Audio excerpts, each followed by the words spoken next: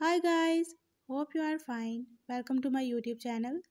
In my today's video, I'll be sharing with you what you can do if camera is not working or how to fix camera error in your device Infinix Smart 7. But before we start, don't forget to hit the red subscribe button and the bell icon to stay updated.